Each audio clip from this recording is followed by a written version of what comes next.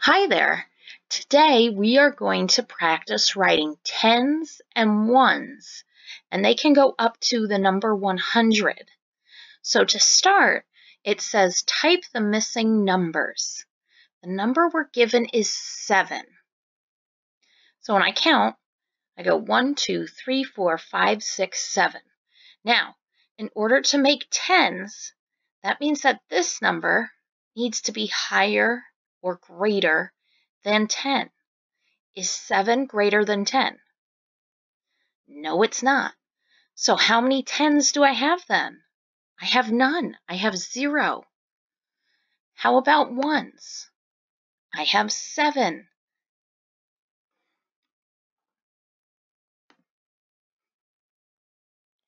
Next number we have is 19. Now what we can do here is we can divide this.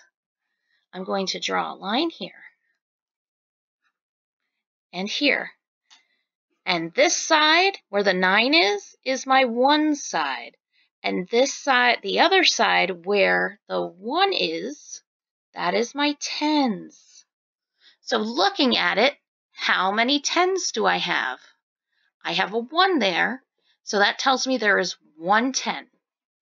I have nine ones, so I should put a 9 here. So again, I have one 10 and nine ones. Next number I have is 3. So I'm going to use my scratch pad again, and I'm going to go like this. Now, first is my ones, and next to it is my tens. Do I have anything in the tens place? There's nothing there. I can write a zero there if I need to to hold the place. So I have zero tens, but how many ones do I have? Three.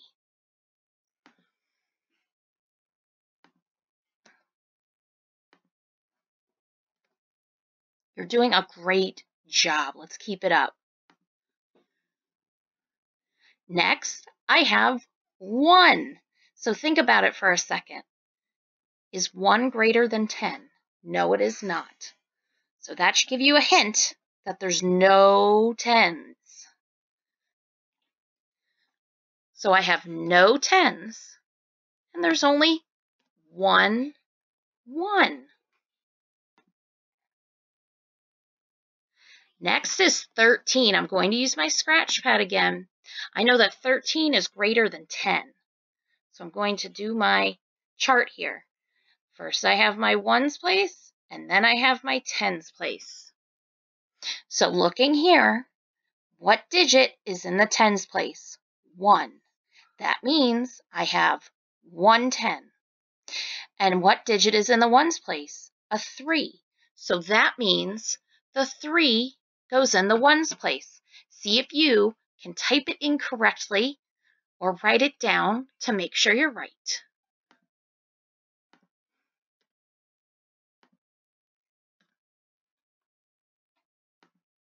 Excellent job. Next, we have the number 2. Is 2 greater than 10? No, it's not. So do I have any 10s? Right, I don't. How about ones? Answer is already given. It's 2. And we are more than halfway done. Keep it up. Next, I have the number 20. I know 20 is higher than 10, so I'm going to do my handy dandy chart. I have my ones place and my tens place. Let's look in the tens place. What digit is in the tens place? Go ahead and say it. There's a 2. So that means I have two tens. What digit is in the ones place? There's a zero. That means I have zero ones. Using that little chart, that T chart, can help you figure out the place. Next, I have the number 12. Is 12 greater than 10? Yes, it is. So again, setting up that T, I'm going to label what goes on this side. What goes here? Yep, that's the ones. What goes here? That's the tens. How many tens do I have? One. How many ones do I have? Two. Good job.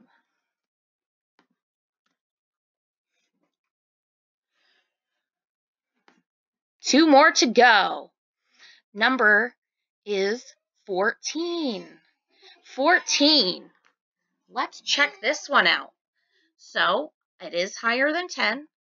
Let's make our T-chart again. And I'm going to make my 10s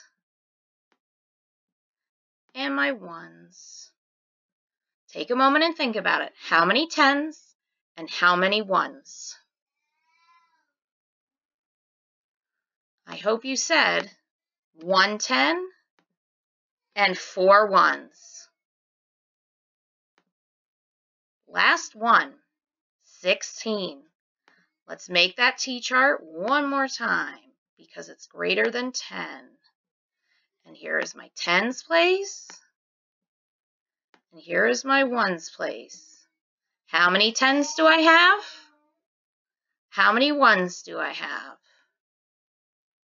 Let's check it out. One ten and six ones. Great job. Keep up the good work, and I will see you next time.